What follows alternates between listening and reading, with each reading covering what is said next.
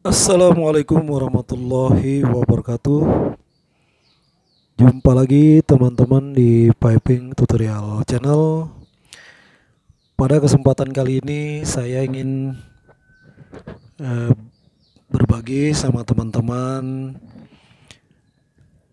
Bagaimana caranya kita membaca sebuah key plan Atau plan drawing di mana ini sangat penting karena apabila kita masuk ke suatu lokasi pekerjaan tentu kita harus menguasai key plan di perusahaan atau di pabrik tersebut. Agar supaya untuk memudahkan kita mencari lokasi pekerjaan di mana yang akan kita kerjakan terutama uh, lokasi areanya karena yang kita mau kerjakan piping tentu kita harus tahu uh, di mana yang akan kita kerjakan. Nah ini teman-teman saya uh, menjelaskan ini key plan uh, sangat sederhana sekali. Kita mulai dari dasar-dasarnya karena uh, kalau teman-teman sudah tahu dasarnya, insya Allah nanti walaupun uh, ribet kelihatannya banyak betul gambar-gambar di situ digabung jadi satu isometriknya insya Allah teman-teman akan bisa uh, mengerti Oke teman-teman langsung aja kita coba uh, perhatikan satu persatu saya akan jelaskan teman-teman mulai dari yang paling dasar. Di sini teman-teman saya ambil sebuah contoh sebuah isometrik ya. Di mana kita tahu bahwa isometrik ini yang pertama yang harus kita perhatikan adalah arah arah daripada drawing isometrik ini. Di sini ada plane north, utara, selatan, barat, timur. Oke.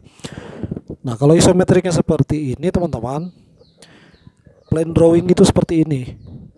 Ya, di sini ada utara, selatan, barat, timur. Kita urut dari utara ke selatan ya. Dari utara ke selatan. Sesuai dengan arah isometrik ini dari utara ke selatan. Jadi dari garis ini garis ini utara ke selatan. Yang ini ya teman-teman. Nah, kemudian dari utara ke selatan tadi dia ke arah timur. Ke arah timur ya. Nah, kiplannya seperti ini, dari utara ke selatan kemudian ke arah timur. Sesuai dengan isometriknya. Kemudian turun. Turun. Di sini ada palep.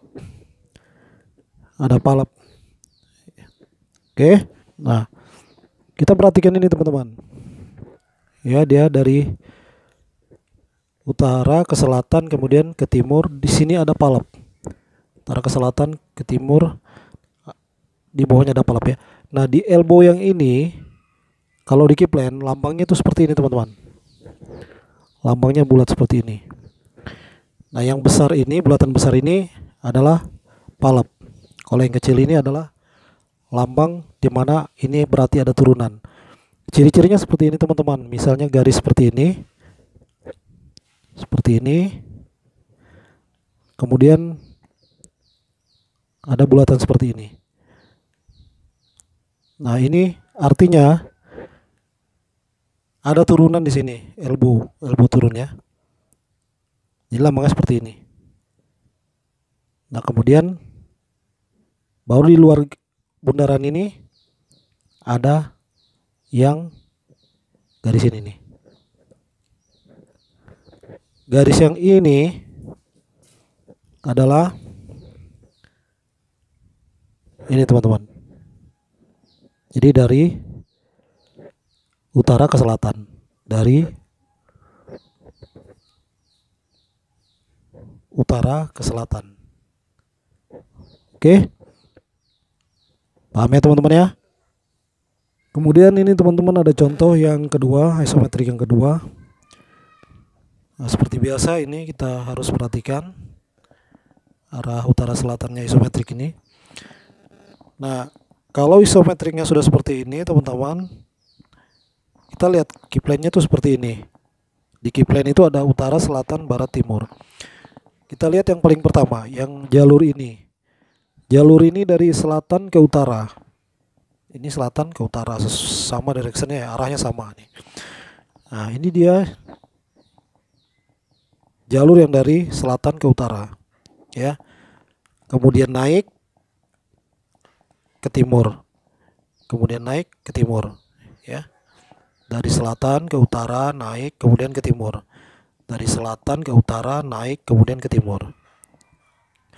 Kemudian rolling 45 derajat dari utara. Ini arah utaranya ke sini teman-teman. Ini arah utaranya ke sini sesuai dengan ini.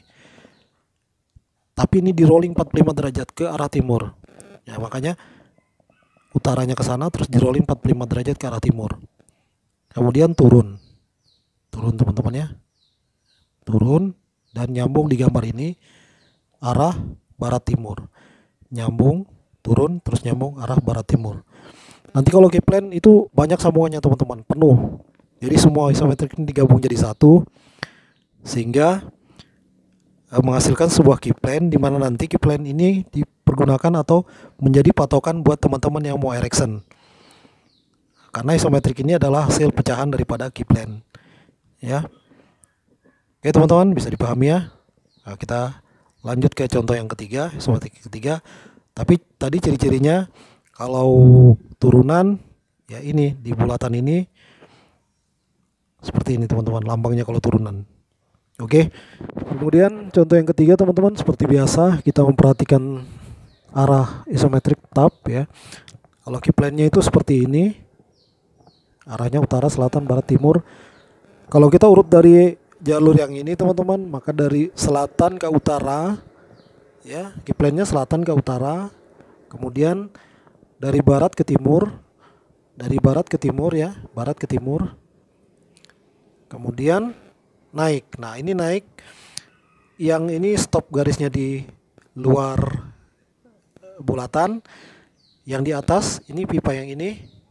Yang dari barat ke timur ini dia berhentinya di tengah-tengah bulatan ini teman-teman.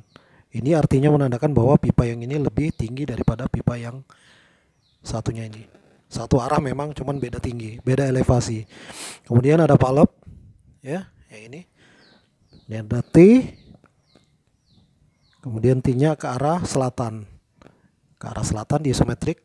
Nah, di kiplannya juga seperti ini ke arah selatan. Kemudian di sini ada R116 ini menunjukkan uh, equipment atau alat yang mau disambungkan ke jalur pipa ini teman-teman R116 ya. Ini cuma sekedar contoh dan kelanjutannya adalah di sini ada valve dan di sini turunan. Seperti ini teman-teman ya ini turun nah ini. Garisnya stop sampai di tengah-tengah bulatan ini. Oke teman-teman. Sudah cukup jelas. Mudah-mudahan teman-teman bisa mengerti karena ini uh, sangat penting. Nanti di video berikutnya saya akan coba untuk menjelaskan bagaimana cara kita mencari lokasi kerja. Kalau kita bekerja di pabrik yang baru, kita belum pernah masuk ke sana, tapi dengan bantuan Keyplan nanti kita akan tahu lokasi kerja kita ada di mana. Oke teman-teman, lebih dan kurang saya mohon maaf. Bila itu topik wal hidayah. Assalamualaikum warahmatullahi wabarakatuh.